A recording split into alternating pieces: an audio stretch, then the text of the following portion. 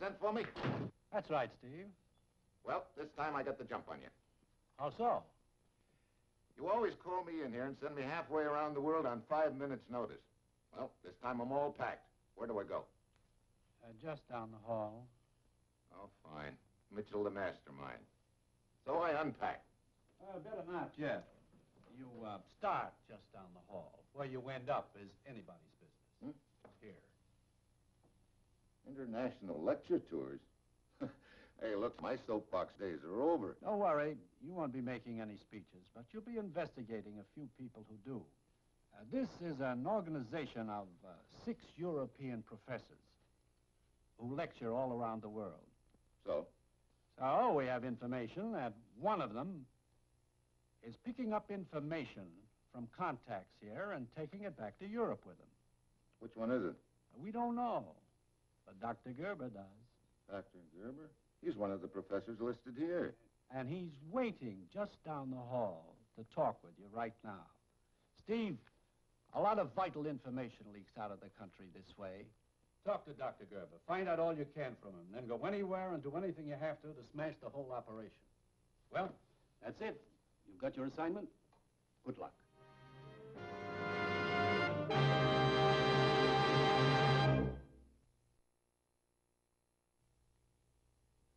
Sure, I've got my assignment. A real switch. Ten minutes after talking to the commissioner, I'm usually heading for the nearest airport, but here I am just walking down the hall. I've got a strong hunch, though, that the deal's going to involve a lot more than a friendly stroll. Mr. Mitchell, as your commissioner probably told you, I am a member of International Lecture Tours. Yeah. Uh, I understand you have reason to believe that one of the other members of the organization is a foreign agent? I am sure of it. Moreover, I know who this person is. Well? I can only tell you that on one condition, Mr. Mitchell. Yeah? I must have protection. Well, that shouldn't be very hard to arrange. You're safe in this country. No, you do not understand. I am not speaking of protection for myself. Oh? Here. My wife died last year. This your boy? Yes, my son Kurt, 10 years old. This is the only picture I have of him. It is safer that way. He's the one you want protection for? Yes. Where is he? At a boarding school in Stockholm, Sweden. I had to leave him there. He has no other relatives. The school is run by an Englishman, Horace Wakefield. Well, we could have some member of our consulate in Stockholm pick him No, up. that is no good. The boy is registered under his mother's name, Inskold, at the Wakefield School. No one must know his identity, nor where he is, until he is absolutely safe. I see. Well, in that case, I think I'll run over to Stockholm and pick up your son Kurt myself. That is what I had hoped you would say, Mr. Mitchell. And when you return... You will tell me who the head of the spy ring is? Yes. Fair enough. Thank you. Thank you very much, Mr. Mitchell. All right. So, for a change, my assignment is simple. Just pick up a little boy in Stockholm and bring him back to the United States. I arrive late in the afternoon and go straight to the Wakefield School.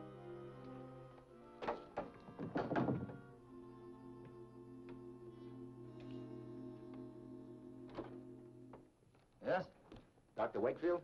that's correct. What may I do for you, sir? I'm Steve Mitchell from the United States. I'd like to talk with one of your students, Kurt Inskold. Kurt. Yes, I have a message for him from his father. Come in, Mr. Mitchell. Thank you.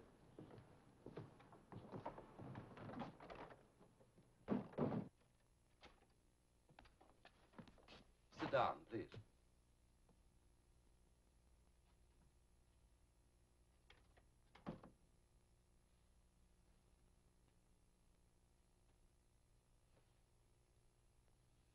Well, where's Kurt? Mr. Mitchell. Kurt has disappeared. What? I can't find him anywhere. I'm worried sick. What happened? Well, Last night, a woman came to see Kurt. She said that she was his aunt. His aunt? Wait a minute. His father told me he had no other living relative. Yes, but how was I to know that? She said she was his aunt, and I had no reason to doubt her. Okay, go on. Well, I sent her to his room. I believe that she left after visiting hours were over. What do you mean you believe? You're not sure? Last night I had a splitting headache. I turned in early. Sounds like a pretty careless way to run a boarding school, Dr. Wakefield. I resent that, Mr. Mitchell. I'm usually very careful about the rules and regulations, but last night with this headache, I was, I was obliged to go to bed. Well, skip it. Then you're not sure when this woman left. No. I'm not sure of anything except that Kurt wasn't here this morning. Oh, great.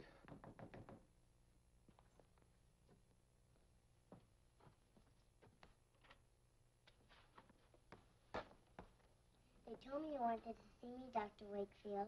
Yes, come in, Elsa. Elsa, this is Mr. Mitchell. How do you do? Hello, Elsa. You know, of course, that your little friend Kurt has disappeared. Yes. Now, Elsa, I want you to tell me something. Did he ever speak to you of running away? No, Dr. Wakefield. Elsa, have you any idea what could have happened or where he might be? No, sir. All right, Elsa. That's not for now. Thanks, Dr. Wakefield. Goodbye, Mr. Mitchell. Goodbye, Elsa. Have you called the police yet? No, at first we thought it might be a boy's prank. Wait a minute. What if he's been kidnapped? I think he's being held to ensure that someone will keep their mouth shut. That means he's safe for now, until the kidnappers feel the pressure on them. No, Doctor, I think this is something that's got to be done undercover. Don't report it yet. Wait till I see what I can find out. Very well. By the way, do you know of an outfit called International Lecture Tours? Yes, as a matter of fact, they have an office right here in Stockholm. Drottensgatan 123, I believe. 123. Thank you, Dr. Wakefield. I'll check with you later.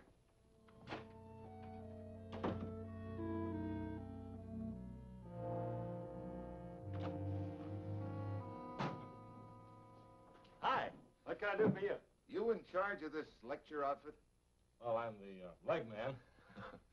Well, I guess you're the guy I want to talk to. My name is Mitchell. Saunders is mine. Always glad to meet anyone from the States. Sit down. Thank you. So, you're the leg man for this outfit. What does that involve? Well, you name it. The works. Shagging around the world in front of the wise men, scheduling lecture dates, making hotel reservations, making sure they don't run out of toothpaste. Sounds like quite a job. I imagine there are easier ways of making a living. How'd you get into this racket? Well, I don't know. Sort of stumbled into it, I guess. I was stranded here in Sweden, broke. And I read about these professors organizing a lecture tour. Also heard that they needed a nursemaid. So here I am, Saunders the nursemaid.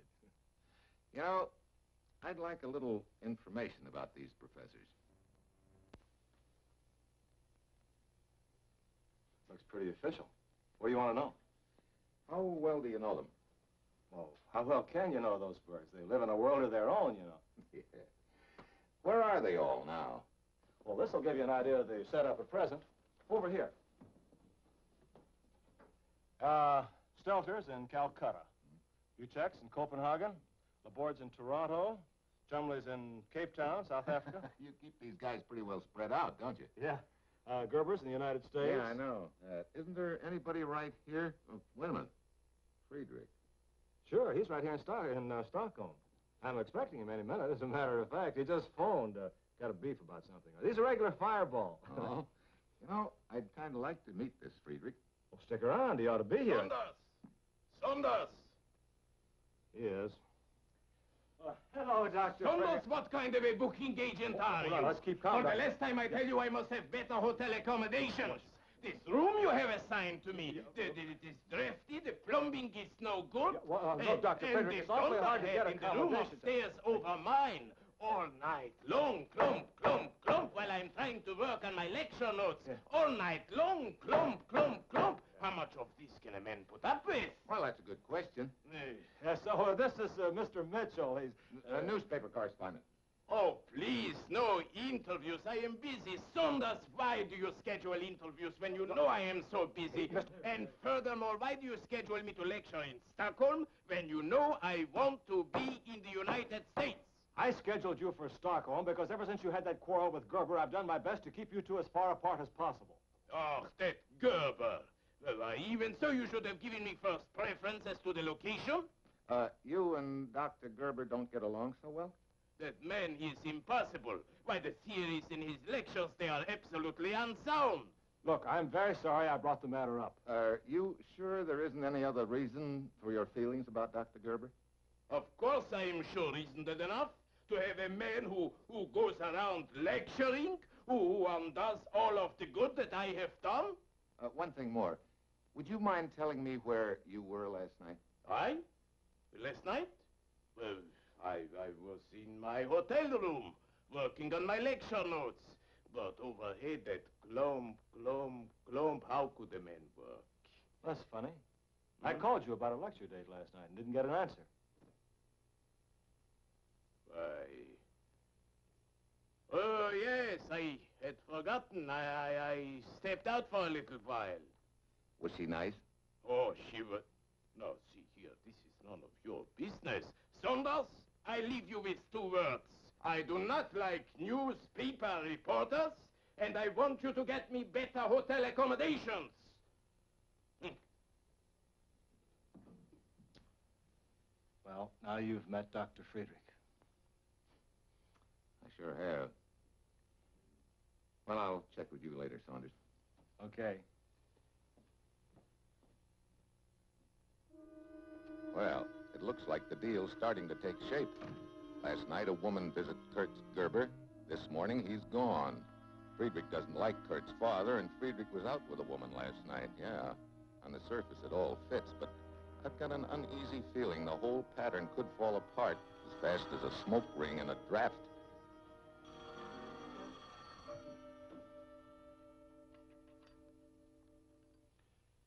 Hello. Hi, this is Saunders of International Lecture Tours. Yeah? Uh, I, I got an item I thought might interest you. Not five minutes after you left the office, Dr. Buchek walked in. Buchek. Wait a minute. Buchek's supposed to be in Copenhagen. That's right. So I asked how come. What'd the good doctor have to say? Uh, something about wanting to cancel the rest of the tour. Tired or something like that. I see. What time did the doctor arrive? Search me. You want the address? Yeah. 327 Rittersgarten. 327 Rittersgarten. Thanks, Saunders. I think I better give Buchek the double check.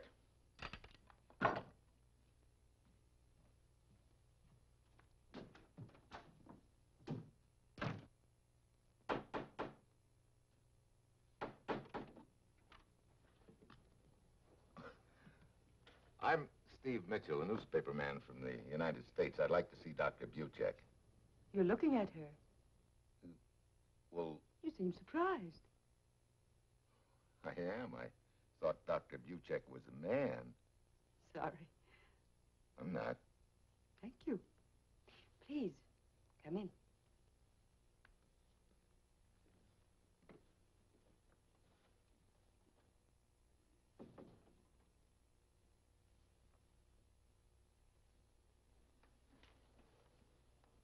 Now, what can I do for you, Mr. Mitchell?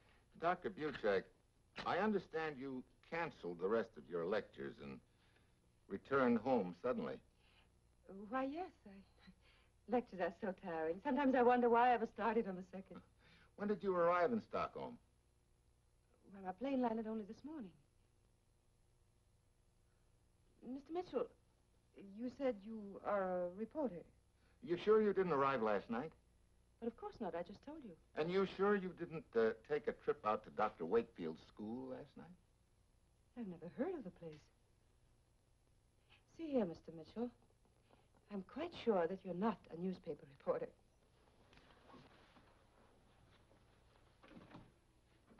And I'm also quite sure that my activities are none of your business. Let's just pretend that they are my business, Dr. Buchek. Very well.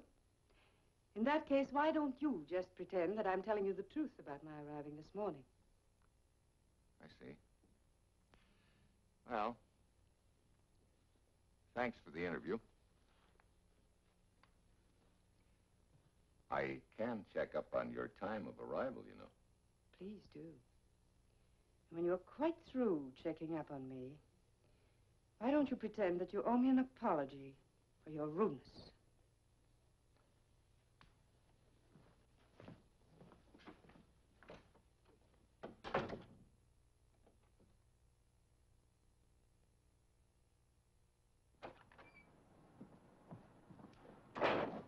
Word with you, my friend. Who are you? Permit me. I am Oscar. I want you to meet my friend, Olaf. I don't see any... Hey, what's this all about? You made a mistake when you bothered the young lady. Dr. Buchek? Now it will be necessary for the three of us to take a nice ride. A short ride, I suppose. For me and Olaf, yes. But for you, it will be such a long ride that I doubt whether you will ever come back.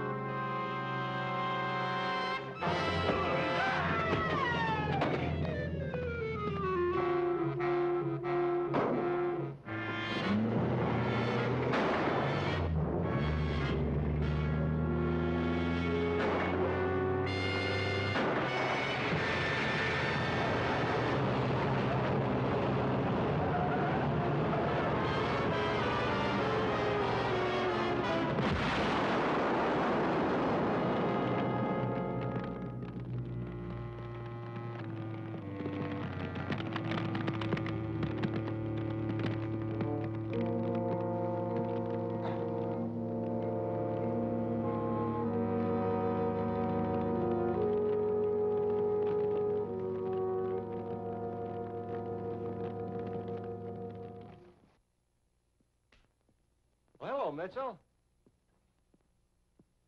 Hey, what happened to you? You look like you've been dragged through a knothole. That's the understatement of the week, Saunders. Hey, look, have you got a picture of your beautiful Dr. Buchek around? Buchek? Yeah. Oh, sure, I can let you have one of the publicity stills we give the newspapers. There, that do? Yeah, that'll do fine.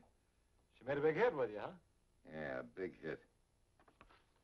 Somehow or other, I'm going to return the compliment.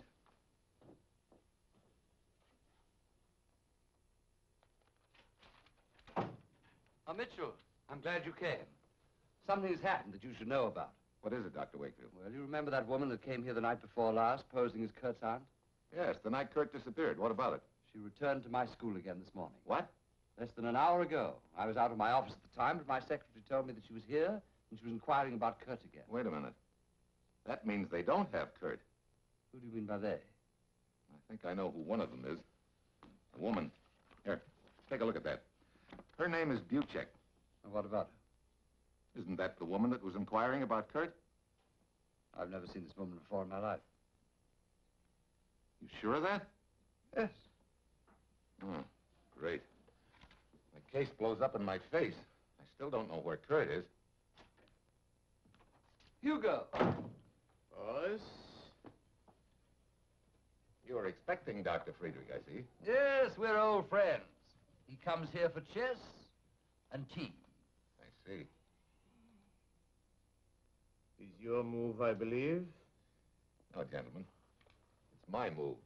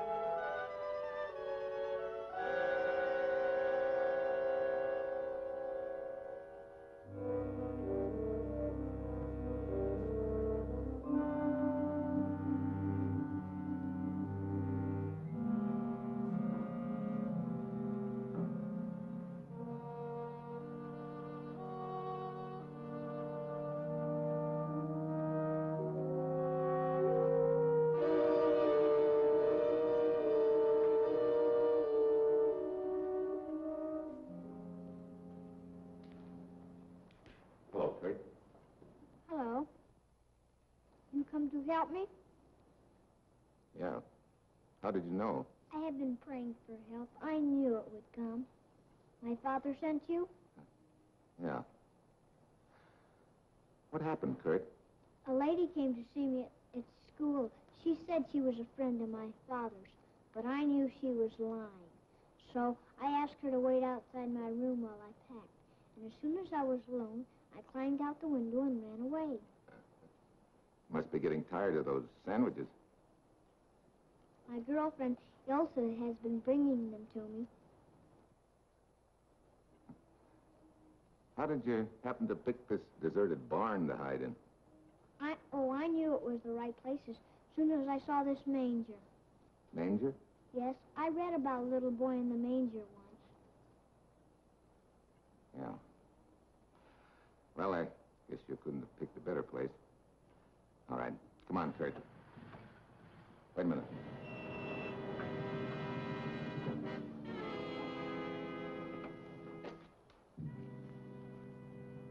Oh, great. Oscar and... Well, what do you know? I find out who my boy is in this deal when it's too late. It is never too late. It will be if I don't come up with an idea quick.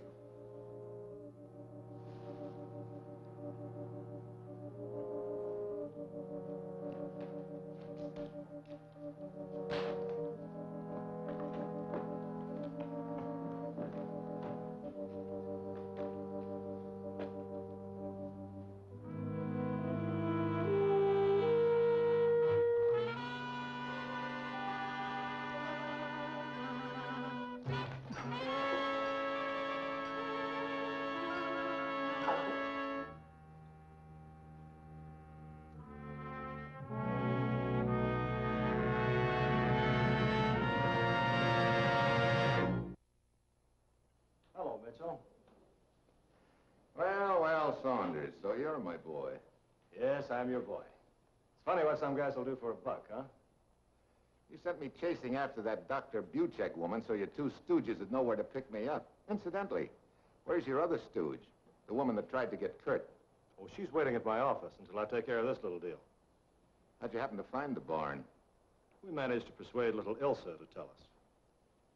So now we've got Kurt. So? What happens?